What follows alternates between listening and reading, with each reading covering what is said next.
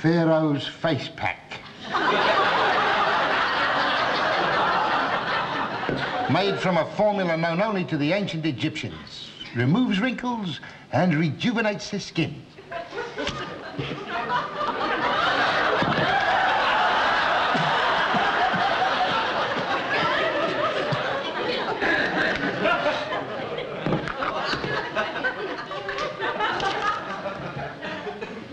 Ten minutes can make you look ten years younger.